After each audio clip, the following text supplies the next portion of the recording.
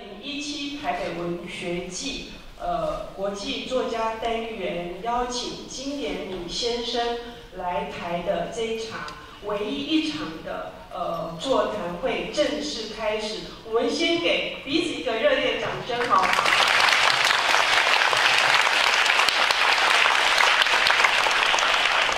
看到这么多呃热爱文学、呃热爱影视的朋友们呃共聚一堂，主持人呢也就兴奋了起来哈。但是我有我的工作要做，我首先要来呃感谢今天呢我们会有这一场这么棒的聚会，来自于主办单位台北文学季的。这个幕后挹注了非常非常多的资源给予协助的台北文化局今天的代表是郭佩瑜郭科长，请他跟大家说说。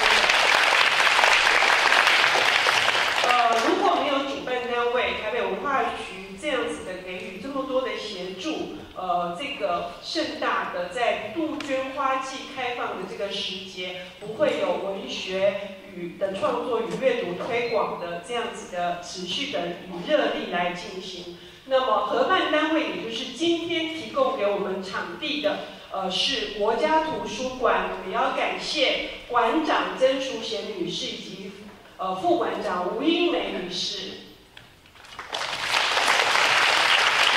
他们等一下会到场啊，到场的时候我会再呃再次的欢迎他们。那。接下来是承办单位，承办单位是台湾文学发展基金会，它的旗下有个非常棒的一个呃资料研究中心，那支撑着呃三十五年来呃文讯杂志社不断的在文学的服务、文学的教育这方面的工作呃不断不断的一直在推动，那这个推手呢，甚至呢把它呃广。广为传达到一般的民众，于是呃有了文化局委托经营的冀州安文学森林。那么我们也要以热热烈的掌声来谢谢文讯杂志社的社长、台湾文学发展基金会的执行长以及这个冀州安文学森林的馆长封德平封馆长。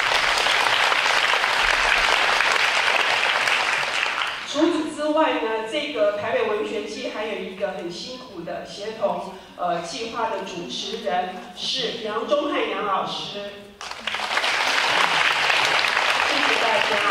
那么接下来就是今天真正的这个重头戏哈，呃，我们先来欢迎有。警察小说第一人之称呢，他是一个全能型的传奇作家，他横跨了大众的趣味以及严肃的社会议题的关怀，他以呃不在。呃，日本的警察小说还没有形成热潮之前，他就努力的、奋力的、一直不断的耐着寂寞写了三十九年，而有了将近两百部作品、三十几个系列以上，呃，来风靡整个呃日本的文坛的金野敏先生。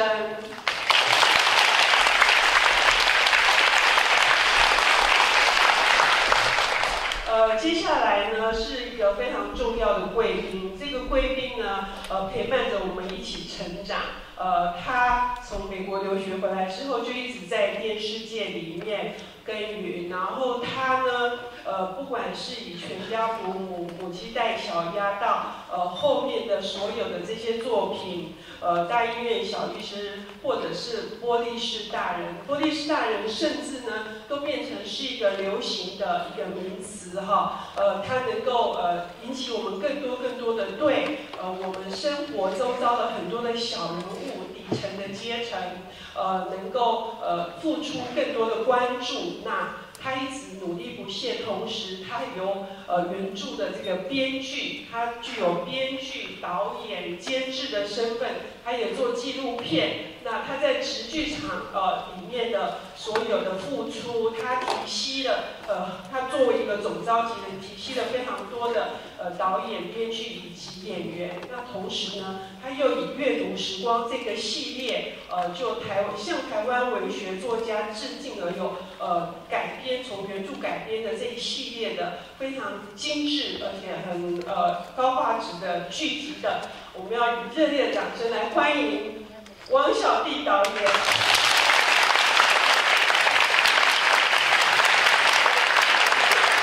另外呢是在十几年前就以呃有唱这个笔名一直断的在写呃关于推理小说的评论、导读、解说。那现在任教于呃中兴大学，这个学系的名称非常的难念哈。呃呃，请各位，我很努力的想把它背起来，但是 anyway，他在大众文化以及在台湾文学以及跨界的这个。呃，流行文化这这方面的领域，它甚至是一个一个亚洲的这个新兴媒体的共同计划的一个主持人，不是新兴宗教哈。我们来欢迎陈国伟老师。陈国伟老师因为对于日本推理小说的娴熟以及他独到的见解，因此他也受邀变成是呃。呃，唯一的一位就是台湾的去到呃日本的呃九州的松本清张纪念馆担任松本清张在东亚的接受这样的计划的其中的一个呃成员，这是一个呃台湾的这个评论界的一个无上的光荣。所以我们可以知道，今天呃下午的座谈会会有多么多么的精彩。我们的题目是要谈。这个原剧改编，呃，原作改编成影视了，因为影视化这件事情呢，很可能是推动文学用阅读，使它呃作为一个推波助澜的功呃功用的一个很重要的一个工具。但是事情有那么简单吗？那对于一个创作者的角度，从一个编剧、原著编剧呃的角度，哈，原创剧本的角度，导演的角度，以及从一个学者、评论者，哈，或者或者是一个观赏者的角度。会有什么样不同的见解？我希望今天的座谈会，呃，除了来自于金延敏先生他自己的经验，提供给现场从事相关行业的创作创作者或者是工作的从业人员，能够有一些些的触发，以及一一些些的更多的想象力的开拓之外呢，呃，也想要借由这个机会，让大家知道小弟导演为我们做了什么。以及呃呃，国伟老师他的研究又是怎么样的取向？我们有没有可能共同结合呃这股力量，我们为台湾的这个文学界呃做更多的事情，来回应文学杂志一直在做的这些工作？我们现在首先呢，呃，在整个活动进行之前，我因为一直把它当成自己的，而，经常忽略了在这里公开道歉哦。我们要非常感谢这两天，无论在工作坊或者刚刚的记者见面会，一直担任这个口译工作极度之辛苦的正大的吴佩珍老师。那接下来的时呢，就会由呃金延敏先生就他的经验来跟我们分享。那金延敏先生谈过之后呢，是小弟导演，再来是呃国伟老师。那我们先。呃，请建明先生为我们谈一谈。はい、えー、と王王監督はものすごいいろんな多彩な方なんですね。 王导演真是一位多才多艺的导演呢。あのそんな方の前で映像化について語るとあのちょっとあの怒られそうで怖いんですけども。在这样的这个。多才华的导演面前，我来讲作品要影像化，真的我很怕会呃冒犯他。あの基本的にえっとドラマにしてもらったり映画にしてもらったりするのは私は非常に嬉しいです。 基本上呢，我的作品被改编成连续剧啊，或者是这个电影，我都是非常开心的。ただあの今日この先いろいろお話が進むと思うんですが。文字そ、えー、小説ですね文字だからこそ成立する世界とそれからそれあの映像でなければ描けない世界これ両方あると思うんです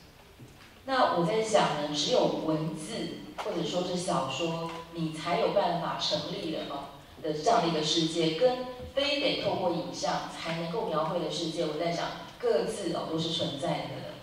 それについては後で人で話をしようと思います。えー、はい。 呃，关于这一点呢，我在想，呃，接下来要跟啊这两位呢，我们一起来谈谈。で、あの私の経験でいうと、その読者の人が自分でイメージを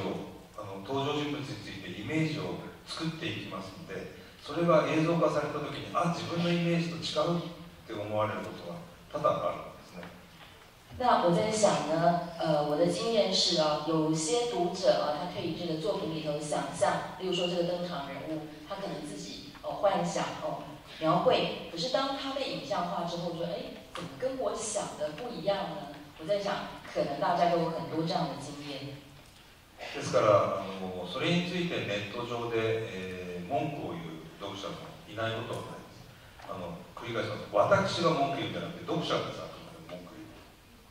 那也因为这样的关系，我我呃有时会看到有一些读者，他们会在网络上有不是没有人会抱怨，都会有人抱怨。可是我要说清楚的，不是我抱怨，是读者抱怨。そのようなことがあります。まああのとりあえず。那呃，我现在先简短的就先说到这儿。没有料到金彦敏先生如此简短哈，呃，我小小的呃呃呃，等一下他还会有更多的发言。那呃，刚刚呃有一件事情非常的失礼哦，就是呃可能我见到大家太开心了，那呃也没有告诉他大家一个讯息，今天李烨呃小姐原来也是对谈人之一。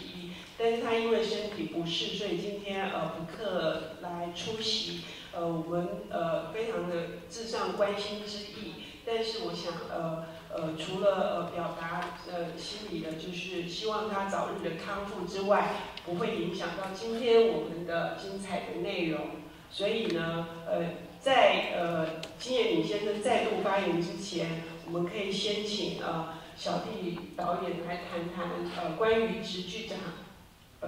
好，金明先生，好，どうぞ。えっ、と短かったんですけどご心配なく後で三人でいっぱい喋ろうと思ってます。哦，原来你说我说的太短，我只想说我要说那么多的话，等一下大家没话说怎么办呢？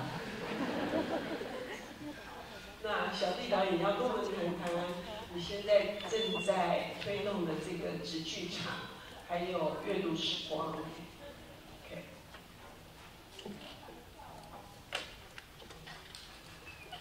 对我 最近呃看了蛮多金燕敏先生的作品，所以我想说，呃，因为原本好像我是我的部分是安排关于这个改编的部分，所以我想我刚刚特别跟讨论说，等一下我希望也有机会讨论一下金燕敏先生的作品。那现在可能略显突兀的，那我们就稍微来讲一下这个阅读时光。我不知道大家知不知道这个节目。呃，阅读时光呢是文化部呃之前的一个构想，就是想让就是刚才说的呃，让更多人在越来越影像化的这个时代，能够也欣赏到台湾的作家，多认识台湾的作家。呃，所以我们呃稻田工作室呃得到这个案子，呃呃，那我们就有请教了很多专家，那个跟呃。文学的学者，然后我们大概有选了，大概从杨奎先生的宋抱夫，就是呃日剧时代的这个生活经验，一直到最年轻的这个王登玉先生，他其实是一个动画家，但是他的文字也非常厉害。那十位的作家，然后我们有七个导演，分别拍了这个十部作品。那包括呃朱天心，包括廖玉慧老师，包括刘大任先生，还有夏娜兰波安呃先生，还有莫里君、柯玉芬，呃呃等等作家，张张慧晶，对对对，朱天文，对，我刚刚说朱天心吗？对不起，对不起。OK，天天天文天文的呃小说。那呃，今天我有带来一些比较短的片段，也许我们稍微呃这样看一两部短短的介绍，那可以吗？好，当然没有问题，当然没有问题。呃，这件事情呃在台湾发生是一个里程碑啊，就是有有导演愿意为台湾的这么呃投入文学创作者这些呃作家能够让呃可能来还没有来得及接触这些作品，而因为有这些影像化而愿意来回到文字欣赏的世界，这是非常重要的。那我们就来看一下这个电影的片段。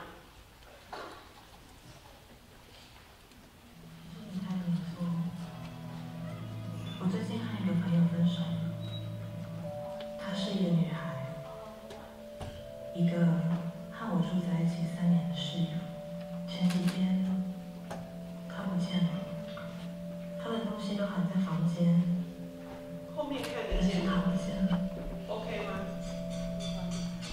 有时候我把自己的幻想写进来，有时候我好像又在幻想里看见了我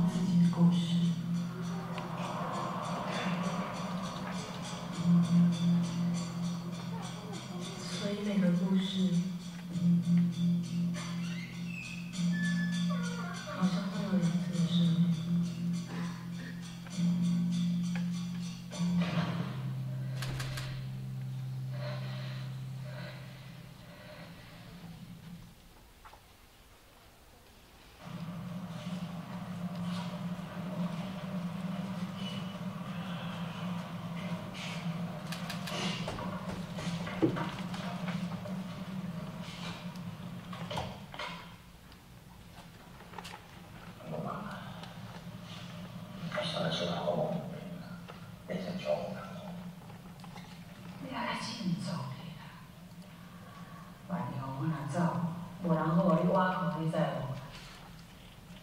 你快先把收钱吼。无啦，咱海看的啦。算了，我到房内来处理吼，啊叫二十万块朋友。上班我无遐侪钱啦。我出代志啦，你紧想办法啦。办法好啊。哎，讲这样你看我。哎呦，实在是，今天大家摕三万去呢。我当然天心人，想过结果，只是啊，这样行为我们的事。好，那下就是声音关声音关掉好了，OK，，就是大家有机会，影片的声音可以关掉。那个我我很快说一下，我大概选了这两个呃冰箱跟后来都是同一位导演，是王明台导演。那呃在这两部片子里可以看到导演用非常不一样的镜头，就是他拍这个冰箱的时候，因为冰箱呃柯一芬老师是非常年轻的，然后从呃这个台东来到台北的这个呃呃女学生。她从她说从二十五六岁的时代呃时候就开始呃体会很多这种呃可能比较属于私密的一些个人的心境，所以他在这个小说里面，其实冰箱这一篇，王明台导演跟好多导演一样都很贪心，其实改编了柯老师四篇文章合在一起做一个三十分钟。那其实冰箱本身它就是，其实开始是橘子，橘子就写她的男朋友，然后她男朋友不断会认识苹果、樱桃，好、有很多的不同的这个这个这个女朋友，啊、然后所以冰箱用的短篇小说的方式非常深入的，而且可以说是非常算是呃，你几乎有种偷窥的感觉，非常私密性的写到女性的很多呃敏感的心思。那呃，包括他融合了这一篇说我的朋友不见了，就是他的朋友不见了，好像可是呃房子里呃包括家具也也有不见啊。那所以他是呃比较现代的。那大家都知道廖玉慧老师的作品，而且廖玉慧老师是非常幽默的这个方式写他的母亲，写了很多年。那其实呃呃，我觉得从王明台导演的这个例子，我想讲一下，就是这一次改编的最主要是，我觉得像我个人就是非常非常羡慕作家，然后非常非常高兴有这次的机会，就是完全忽然脱离自己的轨道，这样子去看虽然平常常常看小说，但是你从同样创作的角度去看他们的写作的时候，就觉得分享到那种纯净。我说纯净，就是因为我们的心思常常是不干净的，或者是卑微的，因为我们要顾收视率，要顾票房，要顾要顾老板的明天，哈，要顾很多事情，所以我们的我们算是很卑微的的心思，常常而且我说不干净的，常常是要想很多这个外在的事情。可是同样在创作的路上，就是从这个角度来看的时候，就觉得我们真的，呃，可能因为尤其我个人，因为从开始筹划这个案子，大概每一个作家的小说都把它再看一次，不但是学习到很多，而且觉得那样可以安静的、深入的描绘他们想描绘的世界。他们心中可能没有票房，没有明星，没有没有其他的顾虑，他真的就是想写，而且我觉得时代的画面真的就在他们的文字里保存了。从杨奎先生的宋抱夫，每一个人在每一个时代里，呃，然后天文的这个呃世纪末的华丽，写那样就是几乎你感觉好像是很浅显的，呃呃呃。一种好像是很世俗的一个女性的，包括这个呃时装杂志第一本进来那样的，但是事实上对时代的敏感，呃，包括到呃刘大人先生，刘大人先生其实他有两部，一个晚风呃晚风习习，一个细雨霏霏，好像，那这个那结果导演把它改成晚风细雨，同样的是有一点贪心，因为他一部是写爸爸，一部是写妈妈。那我第一次看到刘大人先生写的爸爸妈妈的时候，其实我也是呃非常的震惊，就是他从呃这样的等于是应该是三十八年以后外省第一第一代的小孩，第二代的小孩的角度来看他的爸爸妈妈，看那个琉璃，看那个看那个那个男女感情跟自己自尊啊，跟人生所有的处境，嗯，就是。大概这这个这个一路一路下来，那当然更不要说夏曼兰波安先生。夏曼兰波安先生，他是蓝女的作家。然后我有一次就是这个活动，我听到他演讲的时候，因为是很生动的，虽然在这样的场合，我还是忍不住想分享一下。就是夏曼兰波安先生说：“我二十岁从蓝语到台湾来工作。”我每天早上听到的就是“干你娘还啊，干你娘还啊”，好，他说这件事情我是永远不会忘记的，好，那他然后他在描他在写海洋，然后他觉得他不能够了解为什么汉人同样生活在这个海岛就这么的不亲近海洋，好，那么他整个不管是帮海洋写的神话，那些鱼，他跟每鱼都有名字。哦，小男孩跟鱼的互动等等，都是非常非常的精彩。可以说这次导演们真的，我真真的看到每一个导演都是战战兢兢，战战兢兢，全力以赴的。就像我刚刚举这个例子，就是王明台拍每一部两个不同作家的时候，他是非常用心的要拍出希望传达自己看到的那个文字的描述。然后像廖世涵导演，其中是大概，嗯，我觉得难度最高的，因为我们是请导演们先选自己想拍哪一个，然后廖世涵导演的太太远远坐在旁边就说：“骆以军，骆以军，大概就害了他，因为像生十二星座，我觉得是非常非常难拍的。所以拍完以后，我也很惊艳，说哇，年轻的廖世涵导演真的是。”真的是这么放得开的，我觉得真的就是那个战战兢兢的心态。所以这次阅读时光，我觉得，呃，真的是到最后，真的有有是导演们向作家们致敬的感觉，是真的从心底心底有有有有这样的这样的感受啊。然后真的到现在，我始终觉得是不能取代的，是不能取代那个阅读的。就是真的要去看作家的作品，是不能取代。可是，呃，也许我们可以有一个，只是奉献一点机会，看大家是不是有多一点的机会或不一样的角度去去亲近他们的作品。但是我觉得，呃，作家的这些作品真的都很珍贵。大概以上是。谢谢小弟导演哈。呃，我看了其中的那个呃柯玉芬老师，他自己针对他的冰箱被改编，他的感言，呃，也非常的呃，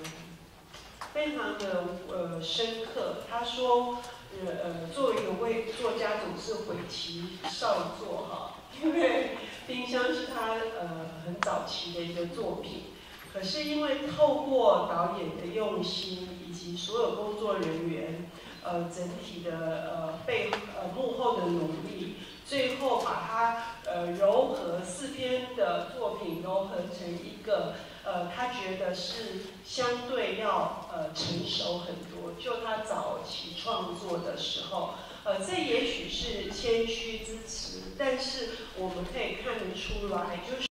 是一个多么美妙的互补啊！这种互补呢，也是因为透过呃像小弟导演如此的呃呃用心，以至于他可以有这些呈现。呃，小弟导演就会告诉我们说，呃，就是在座的这个读者朋友们，他们有呃什么机会可以在呃欣赏到这些作品呢？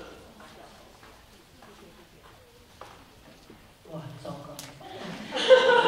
可 以，可以，还是因为现在阅读时光这个还有二继续，对，阅读时光还有二，也许大家可以上阅读时光的网站去看一下，应该都可以找到。好像还是还有呃三立，甚至也到了呃新加坡的这些电台也都有，呃做了很大的这个推广的努力。那等一下，我们也就可以来呃请教，就是这是一个完整的系列，但是呃呃，它拍摄的难度是什么？因为这比较呃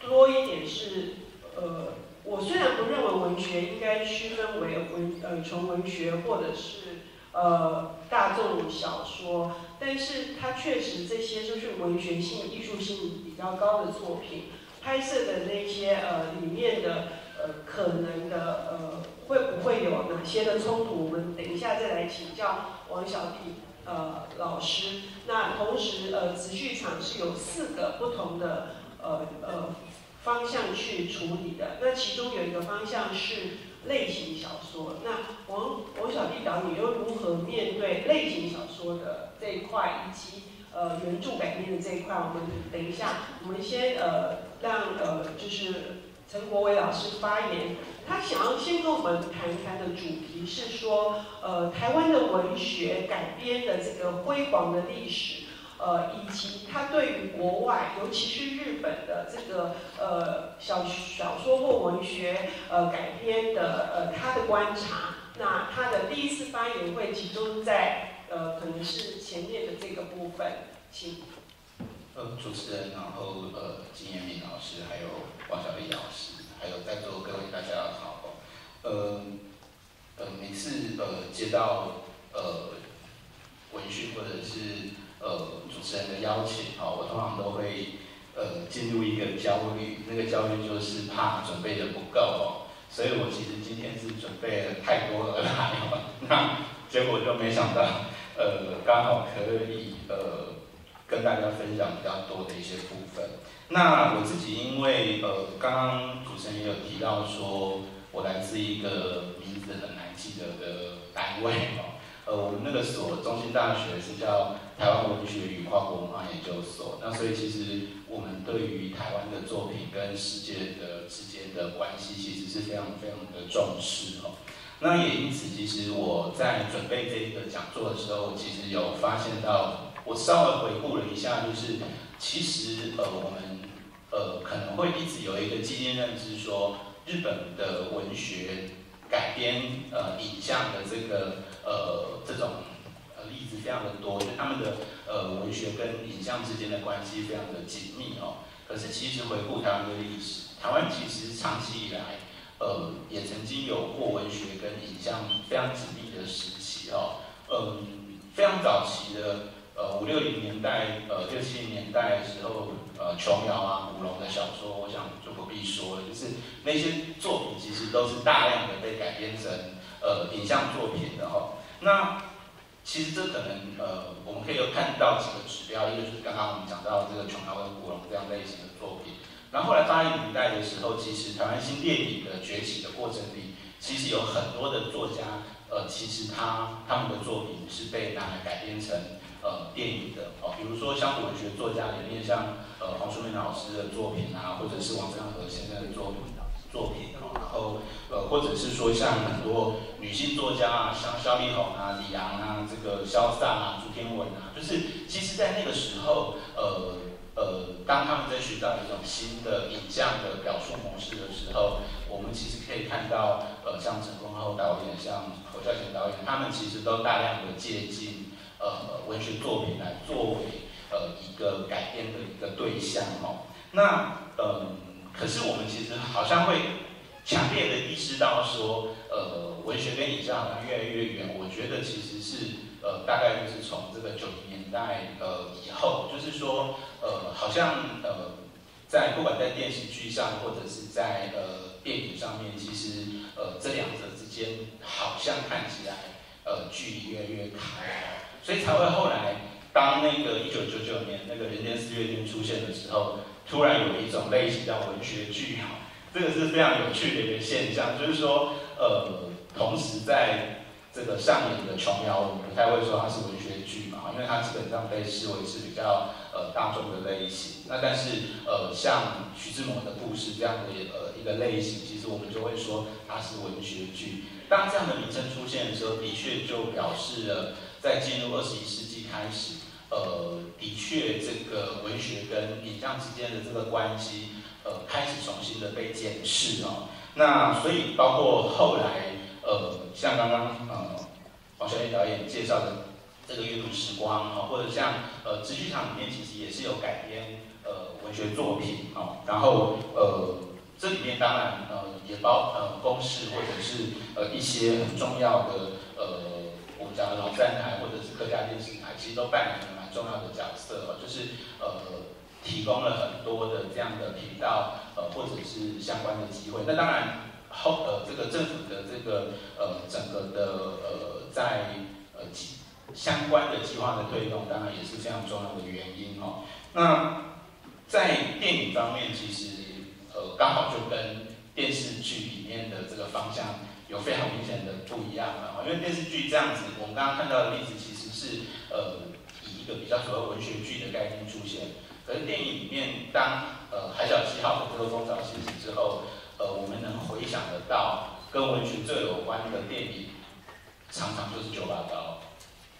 哦，对不对？就是九把刀，或者是呃藤井树啊，哦蔡志就是说这些网络小说，这个所谓在网络文学里面崛起的这一代哦，被视为是比较年轻的，呃，比较这个呃呃，好像大众的哦。所以当然我我自己并没有在这个业界里面待，但我总会有一种感觉，就是说，呃，整个电视圈的制作环境里面，呃，他可能考量的是，呃，以我们的爸爸妈妈那个年纪为主要的，呃，观赏的对象哦。那可是在这个电影里面呢，其实呃有比较多可以去提供呃年轻人的一个呃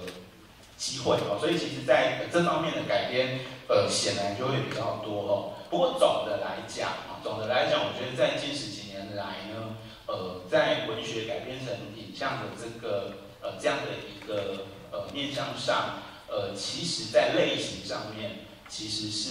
呃比较比较单一的啊，就是说，其实我们看到比较红的电影或者是比较为人所熟知的，呃，很多其实的确都是呃爱情，就是罗曼史这样的一个类型，那。嗯，像今天呃，这个我们呃请来的这个金燕明先生，他所写的这个推理或犯罪，相对来讲，相对来讲就是比较少哦。那呃，当然就是说呃，整个来讲，其实其他类型成功的例子也比较少。但当然在今年哦，从去年到今年，开始有比较不一样的这个这个发展的，包括像剧场的出现，包括像现在这个童年少女的。出现，就是说让我们看到有呃比较多的类型开始再重新的出现哦。不过因为我自己做的是推理这个类型哦，那相较于日本哦，推理几乎是这个呃娱乐小说改编电影的王这个王者哦，这这个在台湾来讲，当然相对来讲就呃真的是比较少哦。那这是我觉得比较可惜的地方。那呃，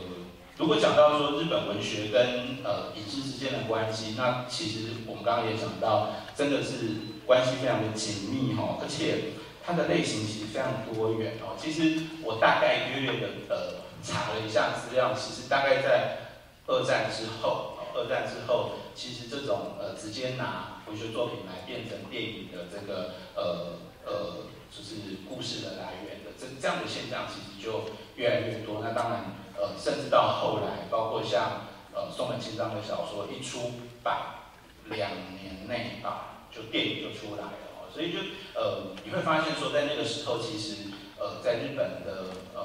电视界也好或电影界也好，其实呃非常需要这样的一个呃这些作品哦，甚至你能想到的那些日本大文豪的作品，几乎都有影像化过。哦，几乎应该是没有什么人的作品没有影像化过 那些经典的小说哦。那呃，而且类型很多元哦，不是只有一些类型哦。那呃，比如说川南康城或者是三岛由纪夫这些这样太宰治。对对对，OK。好，那呃，而且我为了一代又一代去吸引新的观众。对，而且会找年呃更年轻的演员或者是偶像剧。对对，就好像日本 NHK 的这个大合剧也会找偶像剧的演员来担纲是一样的道理。那其实呃，我们刚刚讲说台湾曾经有一度就是文学剧，其实呃有有很多文学改编影像那个时代，其实也诞生了很多明星啊。那日本当然就更不用说，就是日本其实，而且他们真的是不太。担心就是，比如说杰尼斯偶像会去把那个文学文学经典演坏哦。反正总之就是先试了再说哦。所以各位其实会想到很多例子啦哦，包括比如说像那个深田斗真去演太宰治的《连诗阁》啊哦，或者是那个木村拓哉演过《山崎丰子的华丽一族》哦，就是很多很多很多，包括最新最新今呃今年吧，双王太宰子还演了那个山崎丰子的《女人的勋章》哦，就是呃。我觉得其实日本现在也面临跟台湾很像的状况，就是其实阅读的人口越来越下降。我们每次到日本去看，以前都有一个都市传说，就是说在日本电车上大家都会看书看书嘛。哦，这其实现在已经是假的了，没有人会看书了哦，大部分都是看手机。真正会看书的，通常就是有一定的年纪，而且大概一个车厢里只有一个这样子。就是我真的很认真的观察过哦，那。因为娱乐的媒介太多了哦，那所以其实怎么样的让文学可以在新的一个时代里面继续被推广下去？我觉得其实呃这些作品哦，这些出版这些作家当然也是非常乐于呃一直不断的被影像化。反正其实这个影像化的版本不好，过两年还是会有另外一个新的版本出来哈。所以我觉得那个其实是一个呃。一种日本人建立国民记忆的方法，就是文学本来其实就已经可以承载国民的记忆哦。那有时候其实他会呃透过这些影像化，那如果呃这个演出的人其实非常的呃经典，比如说山口百惠去演普都，哦，那山口百惠非常的呃非常的非常的演的非常好，那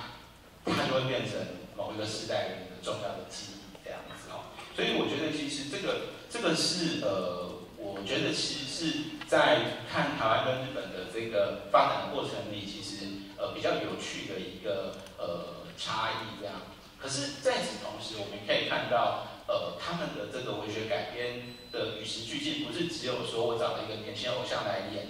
就好，有时候其实他会甚至会针对现在的偶像去做一些新的尝试，比如说呃今年有一个最新版本的。川端康康成的古都呢，是请松雪太子来演女主角，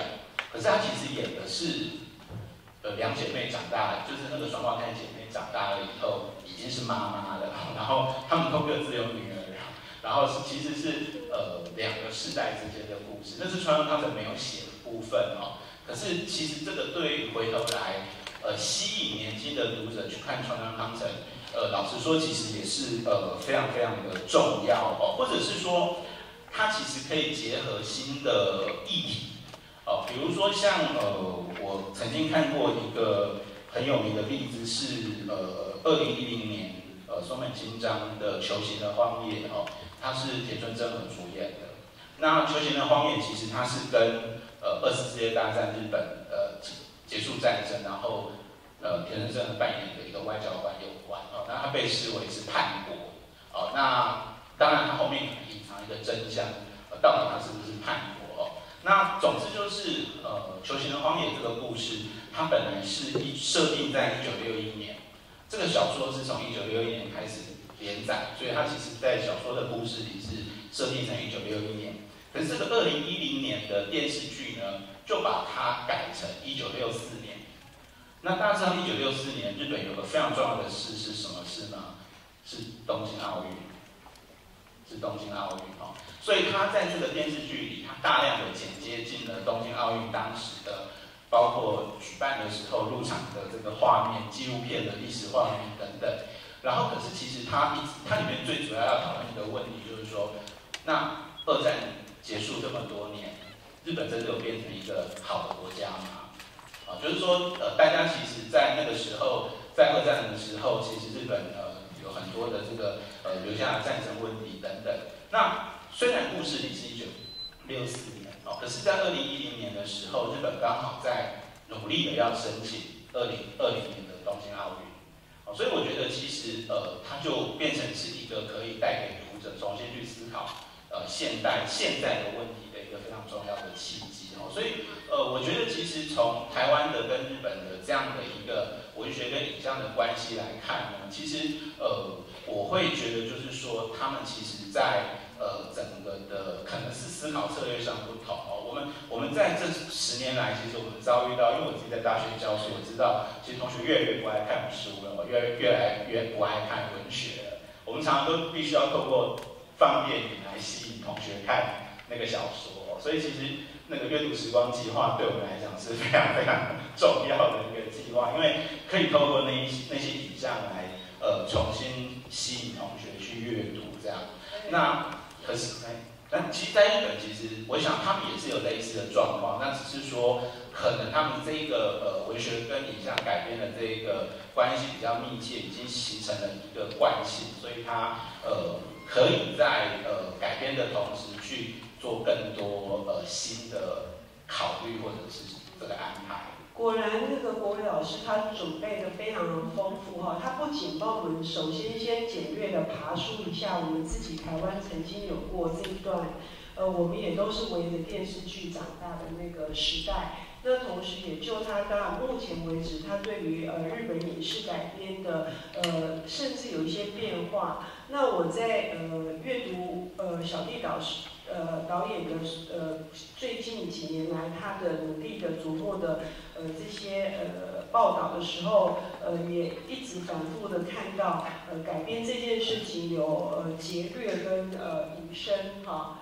这这样子的一个呃手法。呃，可可是日本它到了现阶段，已经那个隐身已经隐身到，呃，可能是为了呃争取新的时代的呃乐听而做了更多更大的这个变化。那就金野敏先生来说呢，他又是怎么他自己人本身就是在日本的现场，呃，尤其是他自己他自己的作品 ST 呃这个。科学呃收藏班哈是一个战队的概念，就金燕敏的最呃金燕敏老师的作品，它呃最大的特色是呃它几乎都是系列的作品，然后系列作品大部分都是群体的作战啊，这个也是日本小呃警察小说的风潮，呃后来会呃掀起了这么大的。呃，就是呃，持续的不断的一个很重要的原因，是因为以往的侦探在推理小说的历史里面，以往的侦探是神探型的，然后有很多太多的一些呃理所当然的呃，可能是甚至我们在看起来都是属于呃剧场型的，不是那么切实际的。那警察小说呢，它回到。真正的警察办案的时候的枯燥琐碎，呃，以及呃非常非常的呃，就是真的是要走破呃几双鞋的这样的情况。但是它如何现代化，如何呃吸引更新的世代？呃，是不是金燕老师在呃呃在创作的时候，他就已经考虑到将来要影视化的可能性，而在创作本身，他会呃有一些事先的设定。关于这一点啊，我们想请金燕老师也跟我们谈一谈。这个可能也会对台湾目前正在有志于写作的呃这些呃朋友们，也许也有一些可以参考的。呃，也许回答不是这样，因为呃，这个金燕敏先生总有出人意表的，呃，从昨天的工作方就可以知道，呃，他有他非常独到的绝技，我们来听听看。いや、あの皆さんの想定内の話を多分すると思う。 呃，我就讲讲事情。あのそうですね。えっ、ー、と私はあの映像化されることを前提に、えー、小説を書いたことは実は一度も一度もありません。我呢，其实呢，以影像化为前提来创作呢，一次都没有过。であの実はあの映像化担当するテレビ局とか映画の人にはあまり好かれないんです。其实啊，我呢是不太被这些呃要把它影像化的这些呃电视局啊，或者是这个电影人啊所喜欢的。あのなぜかというと、私の小説男ばっかりなんで、あの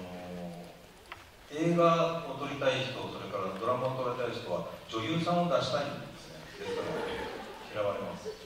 因为呢，我的小说里头的人物都是男生。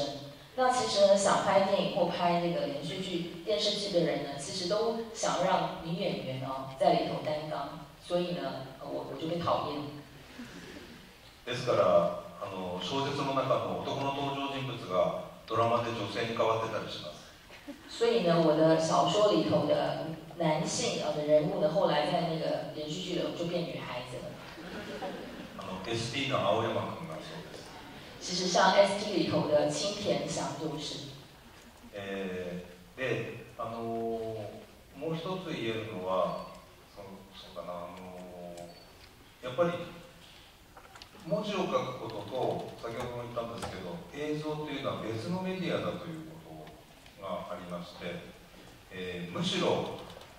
これ映像化できないだろう、ざまあみろっていうような思いで、えー、小説を書くこともあります。那其实我刚刚也讲过，其实文字跟影像它是不一样的这个媒介哦。反倒是怎么样呢？有时候我在写的时候，我就要写一个让你们没有办法影像化的作品。挑战，挑战。先日もあのエチュードという最新作の映画のドラマがあったんですけども、これは文字で読むから成立するトリックが中にありまして、それをどうやって映像化するんだろう。 ずっとこれはあの挑戦でした私でそしたら向こうも挑戦で返してきてこれいい緊張感があって非常にあのこういう映像化っていうのは面白い。那其实呢，前一阵子啊，我我的第一个作品《a t r i b u 这一个作品呢，呃，就是被拍成连续剧。那里头我的设计呢，有一些里头的这个圈套，就是说它里头的这个。设计的那轨轨迹哦，它其实是没有办法被呃，就是只有文字它才能读得出来。那我在想说，那影像化之后会变怎么样？结果影像它也最对我的文字呃里头设计的轨迹做出挑战。我在想，这当中维持了一个非常好的紧张关系。也就是说，金明老师是惯常于向影视化下站帖的哈，呃。提高难度，呃，使得，可是，呃，他改编虽然说他被讨厌，但是因为作品的精彩化，还是呃经常被改编的哈。呃呃，我们昨天在工作坊的时候也稍微聊到了一下关于这个隐蔽搜查的呃选角的问题哈。呃，是不是呃他满意哦？但是他告诉我说，能说真心话吗？我对那两位主角完全没意见啊，都是我喜欢的。但是呢，我也稍微皱了一下眉头。我不知道金野李先生他今天愿不愿意跟我们谈谈关于这个问题，就是作为一个呃创作者。这个已经后面的，如果他前面完全没有考虑影视化，那他会介入选角吗？然后他会介入剧本的创作吗？呃，这个跟我之前有一次的经验，就是我去东北仙台采访一本幸太郎的时候，他告诉我他要退出文坛。退出文坛的主要的原因是他的作品啊被改编的乱七八糟。他觉得所谓的乱七八糟，说这根本不是我的作品啊，但是他又觉得不能得罪出版社，也不能得罪这些好心要来跟他呃呃，就是购买版权的这些热心的影剧界的朋友。所以呢，他极度之苦恼，他觉得最好的方法就是剃发出家，不是开玩笑，就是他最好是退隐江湖哦。有这么大的苦恼，我不知道金延米先生是不是也曾经这样的碾断很多根须，我们来听听看。えっとあの 基本的に悩まないあのドラマを自分の作品がドラマ化されたドラマを見るときは単純にその、えー、一視聴者としてファンとして見ますんで、えー、あまり文句はないです。那其实呢，我基本上是不会有任何苦恼。我在看它被影像化拍成连续剧的时候，其实我就是很单纯的当成一个观众来看，然后来享受这个剧哦。あと日本の事情なんですけど例えばテレビドラマ化される時はそのテレビ局のプロデューサーあるいはその制作プロダクションのプロデューサーとその役者さんのそのプロダクションこれとももう事前の話し合いができちゃってキャスティングをあらかじめ決まってることが多いのであのもう文句言ってもしょうがないなという大人の判断をします。那其实呢，在这个日本啊，你要拍成连续剧的时候呢，事前这个制作人已经跟这个所谓的制作公司哦，他们其实对于选角都已经决定好了。其实呢，就已经都决定好了，你还演的话，其实可能也很无谓的。这是呢，我身为一个大人所做出的判断。呃，谢谢金言李先生。嗯，确实是非常不同的看待方式哈。呃，接下来如果各位创作者从事这方面工作的呃朋友，也可以想一想这两种不同的呃角度，会最后会产生什么样子的结果。那么呃，接下来要请教的是小弟导演，刚刚说的是呃，就是文学的这个原著的改编。跟作者的沟通，以及作者跟导演，还有就是在写作剧本的时候，呃，会有什么样子的呃微妙的落差，或者是呃反而因此而激发出呃不同的火花吗？就呃这个工作刚刚听起来是呃因为有文化部的呃协助，而它显得比较单纯，不像其他的具有一些商业上面的考量呃。的压力，那可是不管如何，就是我们都很希望，呃，这个成果会越多人来观赏会越好。所以，呃，导演在考虑这个呃过程的时候，还会有什么样子的一些呃呃思考的呃方向，可以呃给现场的朋友一些参考，就是，嗯。我我想只是呃小小，比如说现在我们直剧场后面的这个原著改编，其中的一个就是有一个非常年轻的作者杨富敏，杨富敏他的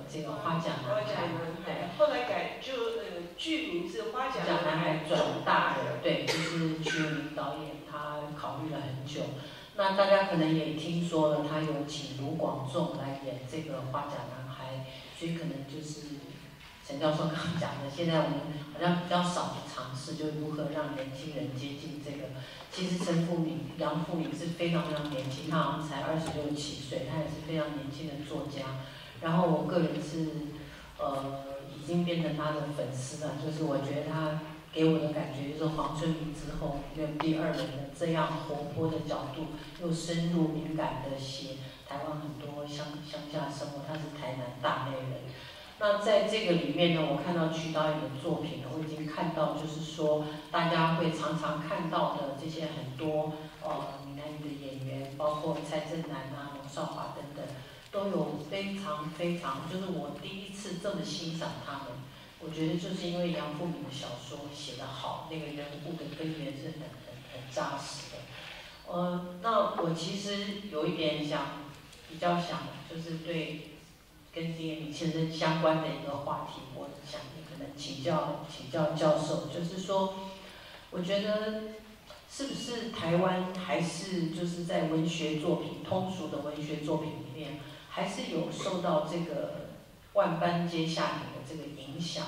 我感觉读书人，尤其是文学的人，他要描写的境界或者是他关注的目光，很少是在一般的行业，啊，就是一般的。呃，不管是公务人员啊、警察呀，呃，也许一个呃税务人员啊等等，其实我们可以看到日本的很多这个通俗的小说，对于不同的行业，像金燕李先生，我看的时候我就觉得我其实对他很好奇，就是因为警察小说，坦白说，我之前是比较看横山秀夫先生的作品。那我看到金燕敏先生的作品的时候，我也是很佩服，就是不管对警察的制度，因为他们会不断，他跟横山秀夫一样，不断告诉你什么系长、什么警政、什么警，就是各种职务哈，还有什么 SIT、SAT 的分别啦，等等啊哈，呃，就是等等，包括他们的特考啊什么，就是他们不厌其烦会一直告诉你这里面很多细节，每个阶层的心态。等等，那我觉得这些其实都是很棒的。就是其实我觉得通俗大众文学的沟通，应该要有这么多的这么多的呃基本功啊。但是我感觉今天台湾我有看到受到很多的限制，就比如说你现在看韩国电影，他会拍北韩，请问我们台湾有人在写中共吗？不敢，不会。有人在写两党吗？不敢，不会。很多人在写警察嘛，其实警察，我觉得我拍《波利斯大人》的时候，其实学了很多很多东西，呃，包括也是我们也有特考班呐，警察学校跟警官学校的分别啦，的工作的心态啦。但是，但是其实如果没有帅哥来演，没有没有一些奇情的故事的话，我觉得大家基本上对于我们身边的平凡人。可能好奇心或者是真的会下功夫的人好像不多，嗯，就是一定要凄美的恋爱啦，或者是哈 各种呃传奇性比较高的。其实我觉得有一些对身边的人跟事的这个基本功跟胆识啊跟胆量，呃，我我其实觉得应该是对台湾要有这样的期许，因为。呃，我们的长辈吃了很多苦，留给我们这些自由创作的空间。呃，可是我却觉得现在常常觉得是呃封闭跟怯懦的。呃，非常感谢小弟导演哈，可以知道他在向台湾文学致敬的这个阅读时光里面，呃，很显然的是一个呃愉快的工作经验，因此话题就会带到呃，就是是呃语重心长的的呼。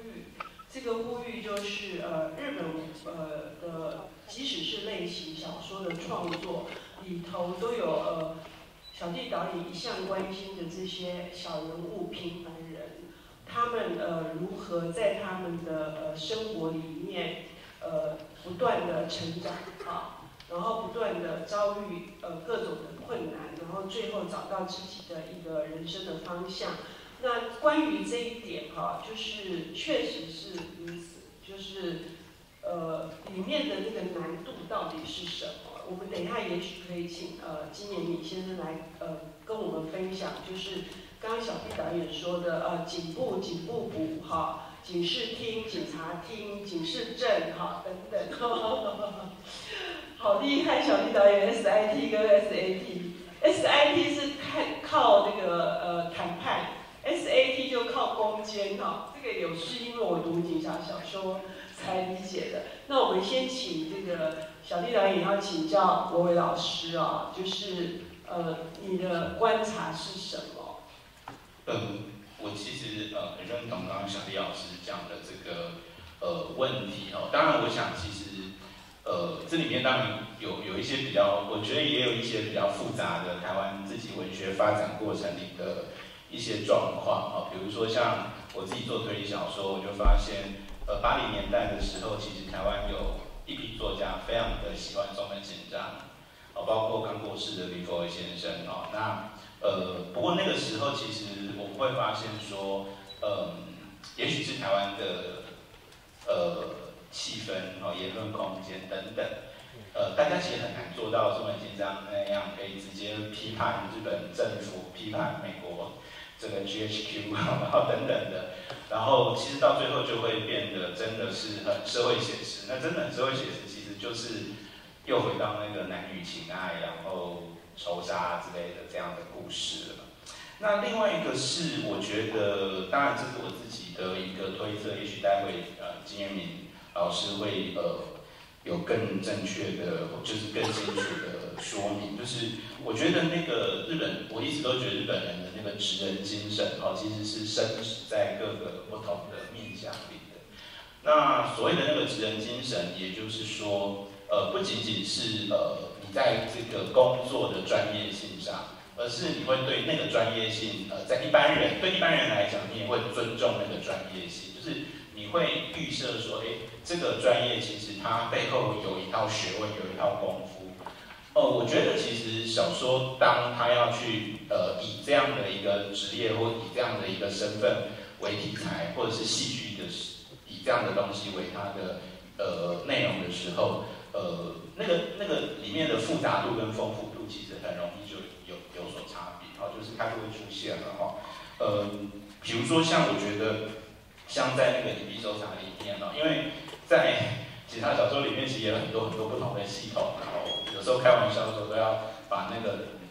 官职的那个对照表贴在墙上对照，这样子才知道谁的官比较大。可是有时候那个主角会跟你说，呃，现在他看起来官是比你大，可是其实你的权力比较大，那个就很复杂这样。可是我觉得像呃，金宇先生在那个隐蔽搜查的系列的这个第一本里面。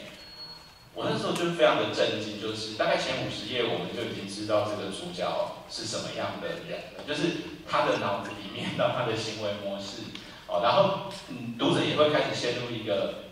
我到底要不要讨厌他的困困境哦，因为其实这个主角老实说是蛮讨人厌的啦，哦，因为他满脑子精英主义，他就觉得说只有东大毕业才可以哦，因为可是他又很写实，因为在日本的官场就是这样。哦，所以我常常都跟学生开玩笑说，这个我们人这个念台大的最后出路就是去当行政院长或总统嘛，就是其实就是你永远这个学历跟精英主义跟现实，其实它有它的某种关系在里面哦。那我觉得在在那样的故事里面，其实一开始我们就完全的看到他作为一个个人，然后他怎么样的面对。这个组织跟组织中间的各种缝隙，它被夹在这个中间，然后还有在现实中的各种呃无形的制约，就是那种观念啊，那种集体意识，然后呃他会很老实的跟他女儿说，呃对啊，这个你如果嫁给那个男那个男生，对我的工作是有好处，没错吧？就是会直接说出这种话。那可是我会觉得说，这一切的一切，包括这个人，呃，这个角色本身就非常的立体。而这个立体其实，呃，除了有高超的呃人物描写的技巧之外，其实那个角色他呃的职业、他的身份、他整个背后的呃历史纵深，还有他的这个社会整体里面他的位置，跟这个组织里面他的位置，我觉得其实是呃我们刚刚讲的这种。专业性的呃书写所带来的一个很重要的结果。那我当然不是很了解说，或者是我其实不太能够确知说，呃，为什么这一类的小说，其实在台湾相对是被大家比较呃比较没有被尝试创作的。所以当然，我想如果要改编成影像，其实它也相对比较困难。可是，呃，容我再补充一点，就是其实我们大概九零年代看日本的那个趋势剧，就是日剧的时候，我们就已经发现这一点了。你你会发现日剧里有很多各式各样的职业，对，他会有点点师傅，他会有婚姻介绍所的人，然后他会有美发设计师，对，美发设计师、建筑师、医生。当然有很多的医生啊，那很多的急诊室，很多的急诊室医生，对，然后很多的老师这样子哦。可是你还是会可以看到一些哦，飞行员哦之类的。我我觉得，我觉得那个其实是呃，日本自己本身呃养成的一个好奇。可是我要讲的是，有趣的是，其实我们在台湾，我们会很爱看那些日剧。其实我们是很爱看那些日剧跟。这一类的小说的哦，那可是，在呃我们自己的创作里，的确相对来讲，呃比较比较少这样子。哎，我自己观察是这样。好像有少数啦，《麻醉风暴》或者是《剑士英雄》哈，有少数的这些逐渐的呃不是的游戏有逐渐的浮现，但这些都是悬疑推理的呃这个类型。那呃，刚刚呃，国老师也已经呃稍微点出来了，这个一方面是大环境的问题，一方面还有就是整个呃社会文化，嗯，甚至是民族性的一个问题了。那所以呃，也可以来听听建敏先生他怎么看待这件事情，以及他怎么给予台湾的呃相关的创作者一些建议。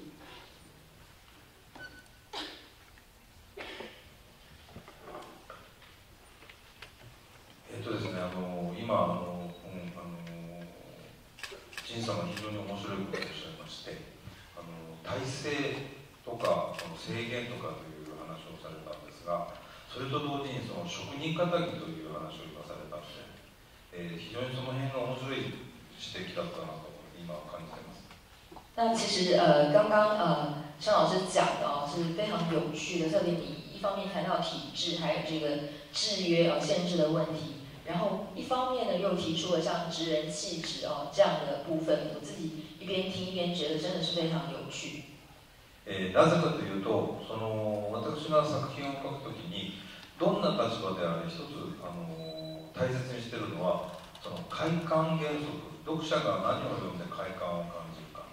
で、えー、じゃあそのなぜ快どんな時に快感を感じるのかと考えたときにそれは一つはあのえー、誇りというものだと思うんですあのどんな立場であれ自分の立場に誇りを持っている人それに触れた時読者の人は感動するんではないかというふうにいつも考えてます那我在想哦，我在创作作品的时候呢，我呢最主要的一定会思考这人物的立场。那特别呢是这个人物的立场里头呢，呃，读者他读了会有一种快感，也就是说一个快感的原则。哦也就是说，当这个读者呢，他什么时候会感到快感？也就是说，这个主人公呢，他在于一个他的岗位上，他对他自己的岗位、他的一个立场，他觉得非常的光荣，非常的有光荣感。这个时候，我觉得大部分的这个读者读了呢，就觉得非常的爽快。ですから、その例えばその東大立派な大学を出たエリートの人であっても。 あるいはその王監督があの描くような一般の小市民であってもその自分の生活自分の仕事それから自分の家族というものに誇りを持っているという、えー、のを感じた瞬間どんな立場の登場人物であれ見る方はものすごく感動を覚えるんだというふうに僕は感じてるんですけど那无论呢，呃，是像这个东大的那个精英，或者是说像呃，这个王导演呢，常常呢，呃，在影像当中描写这个小市民，他呢，对于他自己的工作，对于他自己的这个立场，对于他自己的家人，要是呢他有光荣感，我觉得很骄傲，呃，他其实读者读了也会有相同的感觉哦。这个我稍微补充一下，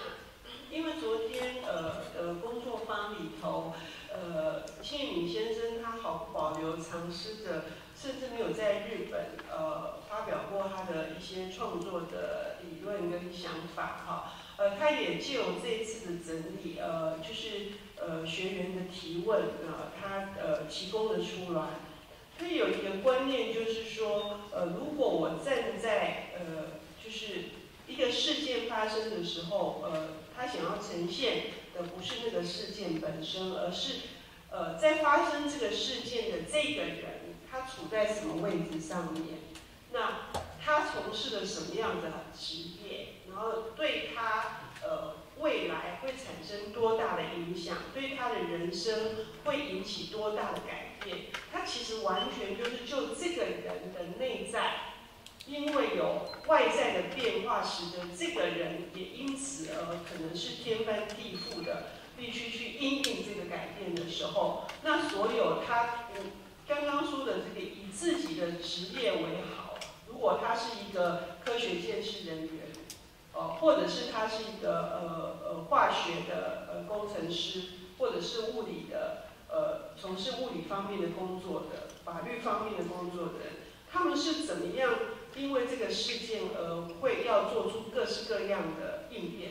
那这这个呃戏剧感。它就会产生出来，所以最终还是回到人的身上，跟他的阶级没有关系。这个也可能是国伟老师刚刚说的，你你觉得这这么机车的龙崎生也为什么变成不机车了？这就是呃那个功力功力所在哈。那嗯，接下来呢，因为是一个非常难得的机会哦，就是以小弟导演的关心，以及刚刚他的这个。呃，就是他的建言，他的呼吁。那么，可以接下来谈一谈，就是小弟老师接下来是会有改编的计划。呃，当你在考虑改编的时候，就是说，呃，如何去选择这些作品？啊，是呃，就是比如说以阅读时光，或者是直剧场，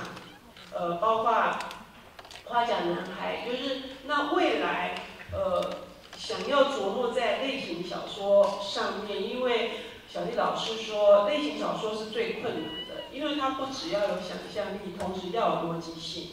那这个在拍摄上面也是呃难度更高的，所以呃那个选择的呃标准会是呃或者是思路好了会是什么？呃，也许因为呃刚刚说的借由这场呃活动的互相的理解，也许。呃，可能呃，共同来推动呃一些关于文学的阅读以及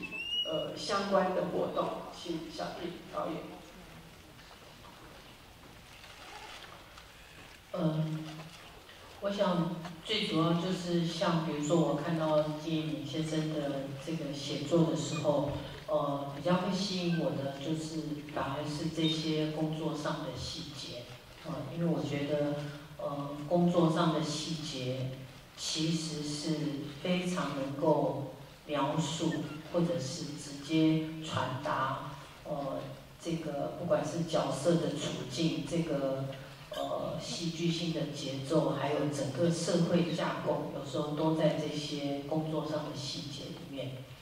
那当然，呃，比如说。当时我们会改编那个侯文勇先生的《代面小医师》，呃，也是因为侯文勇先生在这个里面有非常多从实习医师可能到住院医师的很多呃工作上的细节。那当然，他在写医师本身这个工作以外，他也有很多。呃，我想这个名字就可以看得出来，就是一个无力感，在这个大的医疗环境里面，或者是不管是医病，或者是甚至面对生死，面对呃这个制度等等。那我想基本上我们对这些哦都会呃呃都会都会很有很有兴趣这样子。哦，那就是我觉得。如果在小说里面有这样的工作的细节，而且我我比较希望是，比如说像，我觉得如果讲到类型的话，会有一个像现在直剧场尝试的悬疑推理啊，或者是灵异鬼片啊，呃，大家好像会有一些呃，不管是距离或者总是有一个紧张的感觉。我觉得，但是这种尝试是必要的，是好的。就是说，因为比如说悬疑推理，这个人际关系的紧张，这个你心里的阴暗或者是光明的这些浮沉，我觉得都是在不同的类型里面，呃呃最重要的一些元素。可是像我刚才讲的，可是我我感觉到，我们真的需要尝试，因为主要大概也是从比如说像波利斯大人的尝试。对我来说，就是丢我自己觉得丢了一个很大的球出去，但真的是对方完全是没有声音的。比如说，我其实到最后的时候是丢一个球出去，说：“请问，在我们这种警察制度底下，如何有公权力？因为现在警政署的人力权可能在警政署，可是所有的资源都是在议会。”议会可以决定你有什么钱，议会可以决定你可不可以，议会可以决定。所以像那个什么红红红三军的时候，好就会有到这个党的城市是可以去游行的，到那个党的城市主政的城市是不可以游行的。这也就是议会主导了这个。所以为什么一个议员他的他的单子？警察一定会去帮他消掉。为什么大家会看到这些？就是因为为什么你会看到这么多愤怒的年轻的警察，最后就不见了？比如说某个立法委员到了某个现场来咆哮，好像有个年轻警察的很很勇敢，但是不久你就看不到他，就会被调一个单位。哦，就是明明这是我们大家面对的问题，但是我用。帅哥美女剧精彩的剧情丢出去的球，我说最后最后我学了半天，好像日本是有一个方法可以让公权力可以可以越过，能够能够他警察不必受到因为预算审查的关系被压制是低是比较低阶的，可是没有人回应。警察大警官大学没有回应，观众也没有回应，没有人回应，没有人关心。但是其实像这样的事情，是我们我我觉得这一类的剧的终极的互动吧，就是当你关心到一个工作的时候，那个工作是跟你相关的，不是跟你无关的。你以为警察是别人的问题吗？就是我们大家的问题。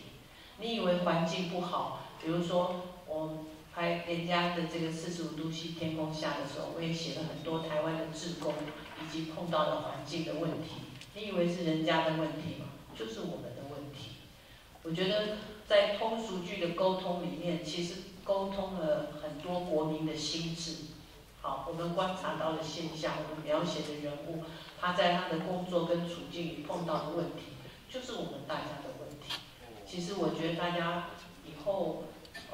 到这样的剧或类型的时候，其实不妨耐心跟呃呃多做一点细致的沟通，不要老是说，哎呀不会拍了，不好看了，没有好莱坞好看了，到最后的结果就是我们所有的创作者拍出来都像是好莱坞的 B 级片，因为没有在地性，没有主创性，没有自己的血肉，没有自己的生活的或生活的心境上的苦楚或职业上的困难。到底是什么事情，呃，阻扰了他？其实这个进步是要我们大家一起。也许有点离题，不好意思。不会，完全不会。呃，我我从呃小弟导演的其他的访谈里面，也深刻的知道，呃，他非常忧心的一件事情是，我们吸取了呃非常多国外的经验，但是本土化这件事情还是非常重要的。因为那个符号不本不够本土化，比如说呃发生的场景或者使用的道具，好等等，或者甚至语言本身，都不是那么本土化，所以才会说刚刚说的是一种呃 B 级片、B 级的好莱坞的 B 级片的感觉。那我觉得这是这是真的很期待，就是不只是创作者，还有读者。还有读者们都能够共同来呃参与这件事情的推动，啊，这非常非常重要。不知道关于这一点，那个国伟老师你的想法如何？呃，可不可以给我们另外一个思考的方向，或者我们有可能做什么？嗯，我觉得其实呃，很我我回到刚刚一开始介绍我自己的时候，就是因为。做我我我来自一个呃，好像做台湾文学，然后又要做一些跨国比较的细说。可是其实我觉得我们在呃看别人的过程中，其实最后是要吸取经验回来思考自己的。那我一直觉得日本呃跟台湾当然有非常复杂的历史关系，可是我觉得日本的确是一个很好的借鉴对象。就是说，其实推理小说。呃，我想不太需要在这边上推理小说历史的课程啊，但是 大家应该都知道，就是从美国传到这个西方，传到日本啊，然后传到日本的时候，当然也同时传到中国大陆，传到台湾。那台湾的读者或台湾的作者们，其实也都呃很喜欢日本的作品。好，那呃，所以我自己是觉得说，日本的那个在地化经验过程中，他们其实不断的去思考，呃，我要怎么样的把握自己。的文化放进去哦，不管那个尝试经过了多少冲撞哦，比如说呃，我们看到很多政治，我们以为他就是只是要去写一个鬼怪的气氛，可是可能没有想到，他其实就是一个克里斯蒂的日本在地化的成功的经验哦，同样都写地方的世家大族哦，但是日本的地方世家大族里面的那种阴暗性哦，跟英国乡村的那个。呃，那些贵族或者是那一些上流社会其实是不一样的。我们不会看到很多真实的作品，觉得它是英国的作品哦。那我自己是觉得，所以我其实是觉得说，呃，透过呃去阅读呃别人的东西，其实应该是有很多可以得到呃经验的一个机会。那我自己是呃，我自己觉得其实像呃。我要特别讲一下，就是我之前看的那个《天黑请闭眼》哦，那我就觉得它是一个很在地性然后很好看的故事哦。然后因为，而且我我觉得那个里面设计谜团或者是一直控制那个悬疑的方法，其实呃一直让我就会在一个很台湾的情境里面哦。那我觉得里面因为里面有一些元素，里面有一些人互动的方法思考。呃，老实说，它其实就是很台湾的。哦，那他让我想起来，我前呃好几年前我看过那个，也是我平台导演导的那个一个电视剧，叫《天平上的马尔济斯》。我觉得那个也是一个很好的例子。它其实就是在讲检察官这个工作，然后它其实是非常有在地性，而且其实是呃把检察官这个工作，然后里面甚至也碰到了一些官商，呃不是官商，就是政治权力的问题。所以，可是这一类的作品，通常来讲，反而在台湾的观众的这个接受度上来讲，其实比较冷门。那我的确也觉得其实比较可惜，因为呃，这些这一些作品，其实它是呃，的确是可以达到像呃，刚刚小叶老师说的，就是向社会问问题他，其实也是像呃我们自己问问题的。好，那你。呃，你去回应这个社会里的问题有很多不同的方式。其实文学或者是影像，其实它有它可以去问的东西哦。那呃，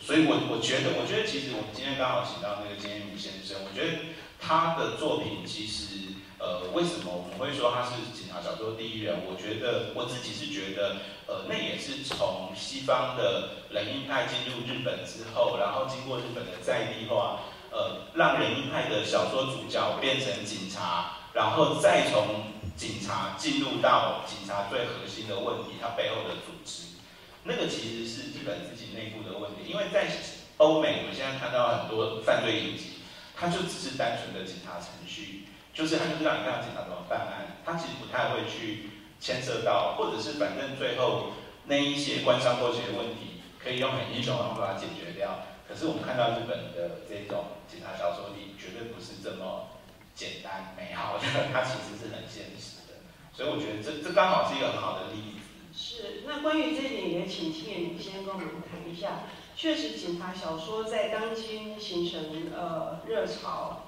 而且是真的是呃几乎很多创作者都呃一投入在这个领域这个类型里面。那就那是一个漫长的过程，那是呃从呃我昨天也稍微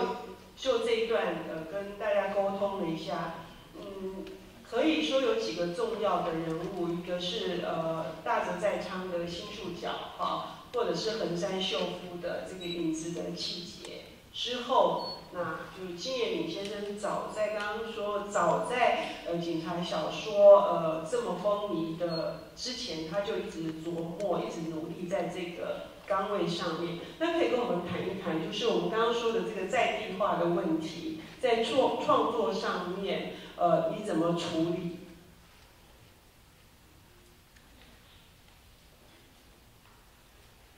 えっと、もともと日本っていうの は土着化というのが非常にうまい民族だというふうに思ってます。那其实呢，我本来就认为哦，日本它是把它在地化非常在行的一个民族。歴史的にもそのあらゆる宗教を取り込んで、その日本のように。あの日本の宗教であるかのようにアレンジをしていったりします。キリスト教もそうですし、仏教もそうです。那其实呢，在历史上呢，日本呢，它呢其实引进了非常多的宗教，然后再把这些宗教呢，再全部融合变成它自己独特的宗教观呃宗教。那例如说呃基督教也是，佛教也是。ですから日本の文学自体もその小説という形式自体がその西洋から輸入したものですのでその自分なりに消化するのが非常にうまい民族だということは一つ言えると思います。那其实呢，呃，日本文学里头的小说，它原来就是从西洋输入的。 输入之后呢，它在自己经过消化，这消化过程，它其实是非常在行这样的一件事情。あとついでに先ほど大監督が言われたこと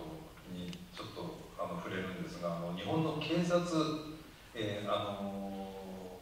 警察におけるその、まあ、警察が公権力をちゃんと持っているのかどうかという問題なんですが、えーまあ、日本はあの世界の中でもマシな方だと思ってます。那其实呃，要提到刚刚那个王导演有谈到的这个警察的部分，呃，我在想哦，这个到底这个警察里头他到底有公权力呢？在世界上的国家来讲，我想呃，日本还勉强算是可以的。ただし問題がないわけではなくて汚職もあればその警官の不正もありますただしそのそういうところを指摘してその正そうとするのではなくて 私はその理想を掲げることによって警察官たちをも教育したい。そんな気持ちもあります。皆さんも多分そうだと思うんですけども例えばそうかなその歩くのが遅い。お前歩くのが遅いな。ブツブツしてんじゃないって言うと腹が立つんですけどあなたは歩きながらゆっくり周りのものを見てますね。って言われるといい気持ちになるじゃないですか。あの多分そういうものの作り方を私はするのでそれはいろんな立場がある。那我在想呢，呃，也日本的警察的这个制度里头，它也不是没有问题。例如说有贪污啦，有一些这个呃渎职的这样的一个问题啦啊。那不是呢，呃，就是说直接去指出这个问题，然后呢去纠正它，而是我在借着写小说，就是说大家要把它这些问题给，就是说消灭，用这样的理想呢来进行一个教育。我举个例子来讲好了，例如说呢，我们走路，有的人走得很慢，慢吞吞的，你如果就是说呢跟他讲，哎，你怎么走那么慢？对方一听可能非常的火大，可是你如果跟他讲，哎，你一边走边看旁边的风景哦。那可能呢，他就会有不一样的感想。这就是从旁从旁晋级的意思嘛，就转个弯，拐个弯骂人的意思啊。OK，所以不要打直球，要打打变化球哈，从。这个，因为他们是非常同除了在地化很厉害，也是打棒球很厉害的民族哦。OK。というよりもね、あのそうだな、ダメなところをその問題提起をどんどんダメだダメだと言って指摘するよりも、ある理想像を示してあげる方が、その悪いものが正されるという可能性もあると思うんです。あのこれは台湾の方が知っているかどうかわからないですが、北風と太陽というおとぎ話があるんですが、あの旅人のポートをなせるのにどっちが太陽か北風かというで私は太陽の方を取りたいいつも思ってるんですよね。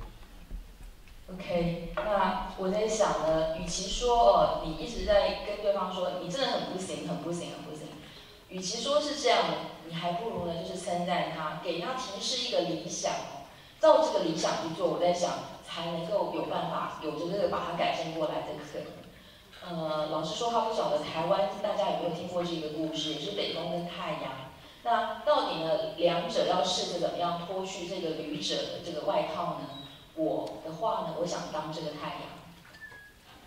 所以我刚刚是完全扭曲了金年领先生的想法，我是错误的示范，他是拐着弯，呃，借由赞美别人达到他的目的哈。OK，呃，从这一点也可以看得出来，就是呃，我特别喜欢的隐蔽收藏。这个系列里面的主人公龙崎生也哈，呃，在阅读的过程当中，我觉得他塑造了一个理想的官僚，尽管他的个性呢很不讨喜啊，而且确实是一个顽固的，然后呃不讲情理的。刚呃国伟老师举了一个小小的例子，看出这个人有多么令人嫌哈。包括就是一开始的画面是，等他注意到他呃第第二本的果断，等他也是一开始就没有写，他注意到他他根本完全没注意到他老婆的脸色不好，是他女儿发现。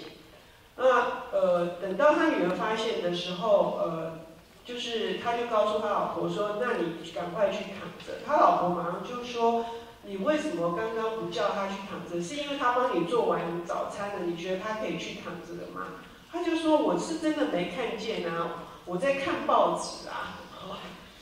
那他女儿就说你为什么要看报纸？看报纸是我的习惯。就很短的这个描述里面，就完全展现了呃那个那个龙其生也是一个怎样子的人哈。我想这个部分也是。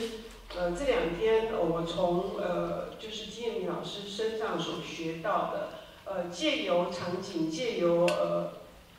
借由一个呃对话去表现呃这个主人公的呃鲜明的一个个性出来。那从这个呃，我们因为时间的关系哈，就是呃，我们最后要请呃，就是三位呃呃，分别再跟我们聊一聊，就是呃，台湾的目前的处境是这样，就是呃，确实有很多现实的考量，确实呃，也有一些恶性循环所导致的呃。的结果，可是呃，永远都可能是一个新的开始啊。那呃，不晓得呃，三位的这个呃建议是什么？也也可以呃谈谈，就是也或许是从金燕敏先生的作品里面有没有有一些呃呃触发点呃，可以使大家能够呃往前看的。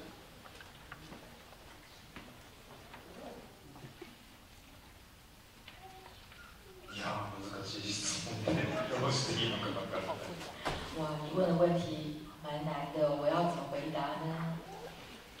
えっと一つはあの私自身がいつもそうなんですけれども、あの前を見て歩いてる時に何をしていいかわからなくなる。あもう例えば今出版不況であもう将来どうしていいのかわからなくなるっていう時はやっぱりもう単純なんですけど足元を見る。今自分ができることをやる。えー、ということだと思うんです。まず一つ。那其实呃我自己哦呃也也是一样，就是说其实要往前看的话，其实我自己也不清楚以后到底会怎么样。那如果说在像现在这样子出版业不景气的状况之下该怎么办呢？ 我在想自己现在目前能够做的就是脚踏实地哦，看着你目前的脚下一步一步的。で先ほど言っているその自分にとっての快感は何なのかあの 何が気持ちがいいのか、えー、でそれは多分その皆さんの中にある誇りということだと思うんです。何を誇りに思うのか。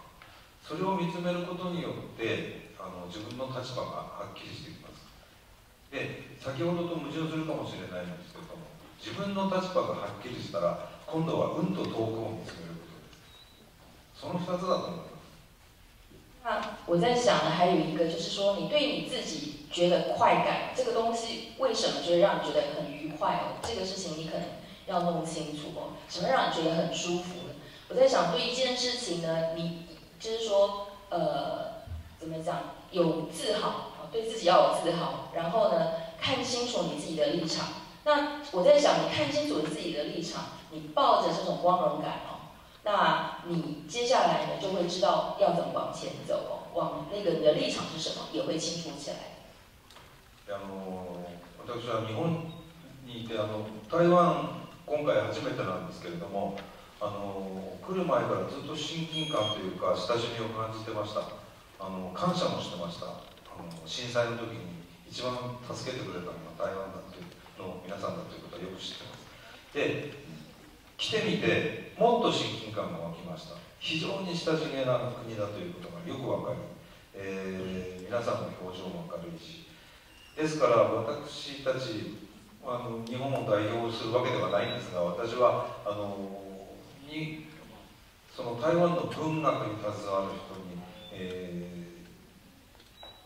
ー、できるだけのあのことをしてあげたいというふうに今心から思ってます。ですからあの先ほど言った2つのポイントこれをぜひあの心に留めてであのそのためには私はあのうんと援助をしたいというふうにあの考えています。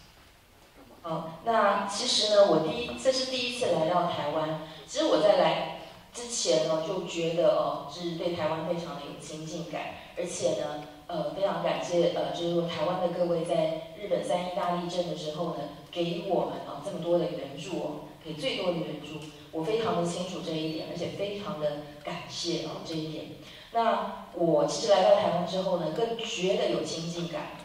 那大家其实表情也都非常的明朗。当然呢，我呢，呃，不是日本的代表了。不过，也就是说，呃，我呢可以尽我的这个力量呢，希望呢能够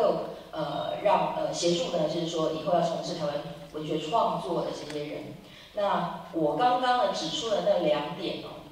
之前讲的那两点，希望呢你们呢可以牢记在心中。那之后呢，要是我能有什么为台湾的这个文学创作能够做的，我一定会尽全力来协助。我们可不可以给一个掌声？谢谢。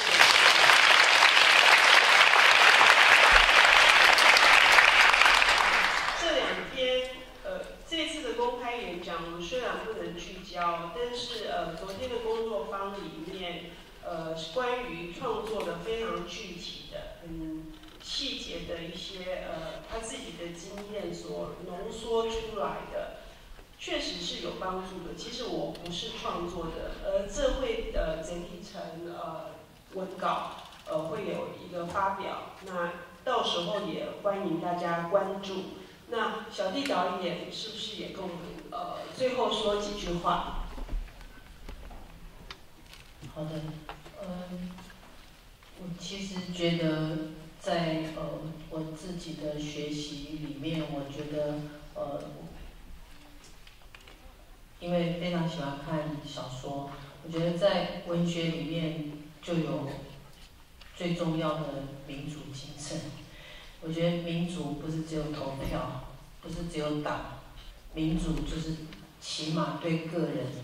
对身为一个人的所有的处境的关注，这是一个起点。所以我觉得对文学的期待，对大众文化的期待，流行文化的期待里面，我觉得就是在大家互动的沟通里面，其实这个对我来说是最重要的吸引力，也是我觉得可能我以后呃。大家在看，不管是你会风靡韩国明星啊、日本明星啊、哪里明星啊，所有啊，呃，其实如果你心里还是除了那个偶像，除了那个人以外，还有人这件事情，我常常放在心里的话，我觉得我们可以会有应该有很愉快、很丰富的互动。谢谢。谢谢谢谢小店长点了，在呃非常多年前，应该有超过二十多年前，我在公司看到百工图，啊。呃，就可以深切的理解。刚刚小弟老老师有很多的关键字，那个关键字来自于，呃，就是是一种国民心智的沟通，哈，或者是呃，透过文学的阅读，把台湾真正可以对这个社会所做的事情，以及呃，关于呃很多的呃平凡人物。呃，他们所碰到的苦恼，呃的一些呃关切关怀，或者是呃对于很多的社会议题，呃我们生命的课题的叩问，都可以透过文学小说的阅读里面，呃去找到一个可能呃思考的窗口。呃，小弟导演，我相信他，我真的非常期待他，就是接下来的任何的关于呃。台湾自己本土的文学的创作跟改编，呃，可以呃为我们呃带来更广阔的视野。谢谢小弟导演，我们谢谢小弟导演。刚刚国伟老师说的那个“天黑请闭眼”，我也非常喜欢，是陈玉勋跟张真年啊，歌对不起，年，OK，好，那呃。另外还有姜老师，你谈过恋爱吗？哦，我光是觉得这个片名就很吸引人。那国伟老师呢？呃，我觉得呃，我们其实呃，在处在一个我们其实是非常自由开放的时代或社会里面哦。嗯，可是其实这个自由开放。很多时候其实是一个假象，或者是是一个自我安慰的结果。呃，就像我们现在其实很多的资讯，很多的呃，我们觉得是知识的东西来自于网络，哦，来自于脸书。可是其实呃，你永远你的接受其实都是被决定后的结果，然后你可能接受到是片段的不完整的。甚至是彼此重复抄袭的，因为我们现在都知道，新闻媒体其实就是出现了一个 A 版本之后，所有人都去后面的都全部都抄那个版本，所以其实它已经不是一个我们说九零年代那个时候众声喧哗，好像其实非常的多元哦，反而其实已经是一个杂音太多，而且其实是噪音太多的时代哦。那我觉得我们其实需要回到一个呃。让自己更为复杂、深沉，或者是缓慢的思考。所谓缓慢思考，是说，并不是这么快的就接受所有的讯息，然后便信以为真，然后就而且就就愿意下很多呃呃不必要的或者是极端的判断哦。那我觉得文学或文学相关的影像，其实它就是为我们重新的恢复我们应该要有的那个思想的复杂性。哦，那唯有这个思想的复杂性，才能让你成为一个个体，一个跟别人不一样的个体，啊，一个有自己思考能力跟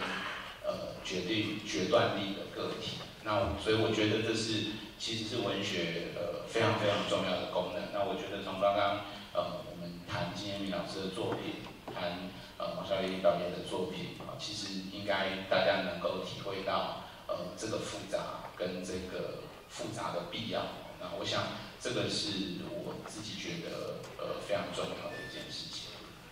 呃，也就是说，虽然金野敏先生他创作的看起来表面上是一个娱乐性的小说，呃，具有你读起来愉快，然后是呃觉得是呃感到很多的呃快快速的节奏。好，但是里面呃含着非常呃呃可能严肃的主题。我们今天呃一开始的时候，我开场，我希望大家用一个轻松的态度来听这场座谈会。可是呢，事实上我们也谈到了很多我们现在台湾的问题，